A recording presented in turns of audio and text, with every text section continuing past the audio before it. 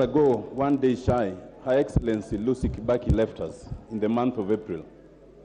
Five days ago, His Excellency Emilio Mwai Kibaki has left us. Mr. Speaker, perhaps this is the Almighty's way of demonstrating their enduring love for each other, as the Bible says, till death did them part.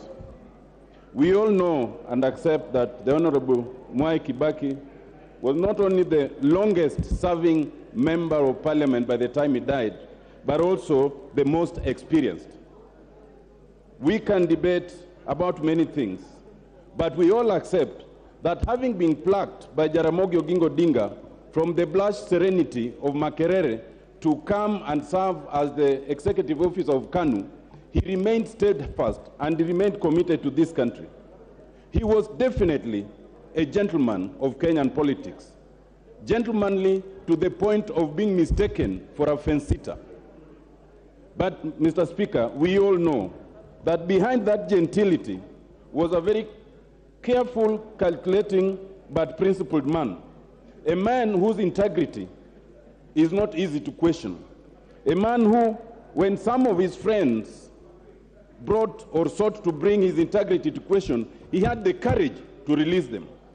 This is a man, Mr. Speaker, whose focus was not only on the economy, but also on democratic space, on meritocracy, and later on constitutional reforms. His legacy is superb, a legacy that was nearly blotted in 2007 when some of his handlers led him to a process that he was not fully persuaded of, aided by the judiciary at the time. To his credit, and recognizing that, he accepted the subsequent process of reconciliation, a reconciliation that ended up in a government of national unity. Together with the Right Honorable Prime Minister, they were able to steer this country to a situation of unity that had not been seen before, to exponential growth, and to put the foundations for legislative and constitutional reform. Mr. Speaker, I am proud to have been one of the beneficiaries of the four organs of reform, that is the Committee of Experts.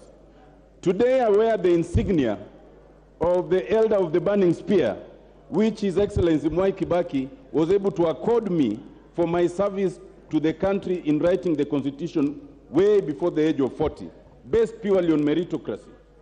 Mr. Speaker, I had the opportunity to serve as the first ombudsman of this republic at the time that Mwai Kibaki was president, and I can confirm that the entire process was purely based on merit.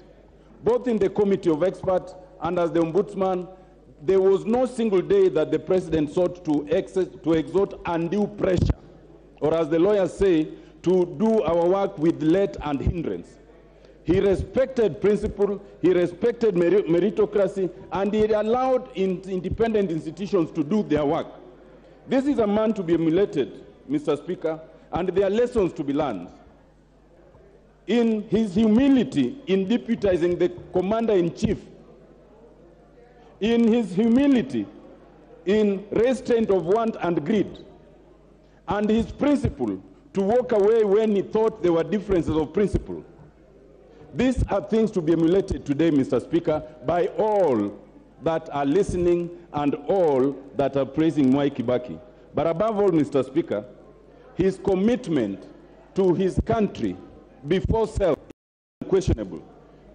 Mwai Kibaki say, pass our regards to J.M. Kariuki, Tom Boya, Jomo Kenyatta, Jaramogi Ogingo Dinga, John Silver, and the others before us. Thank you, Mr. Speaker.